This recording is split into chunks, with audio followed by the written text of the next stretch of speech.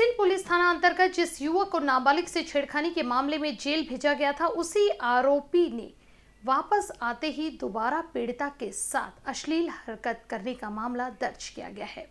तहसील थाना अंतर्गत जिस युवक को नाबालिग से छेड़खानी के मामले में जेल भेजा गया था, उसी आरोपी ने वापस आते ही दोबारा उसका विनय भंग किया। आरोपी का नाम हंसापुरी निवासी विशाल अनिल कौर बताया जाता है।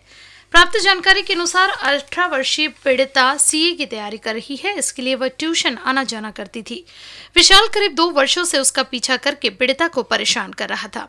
जुलाई 2021 में पीड़िता ने विशाल के खिलाफ विनय भंग का मामला भी दर्ज किया था। जिसके बाद उसे जेल भेज दिया गया। विशाल को जमानत मिली और वह फिर से जेल से बाहर आ गया।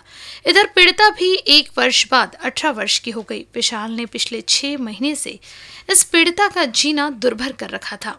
आखिरकार पीड़िता ने परेशान होकर इसकी शिकायत तहसील पुलिस में कर दी। पोलीस स्टेशन तहसील येथे अपराध क्रमांक सहाशे चौतीस ऑब्लिक बावीस तीनशे चोपन्न डनुसार गुन्हा दाखल झालेला आहे. यामध्ये अठरा वर्षाची फिर्यादी मुलगी आहे. ही बारावी आणि सी एचा अभ्यास करते. तिच्याच परिसरात राहणारा आरोपी आहे. आरोपी विशाल अनिल गौर वय एकोणतीस वर्ष हंसापुरी खदान माता मंदिरजवळ पोलीस स्टेशन तहसील.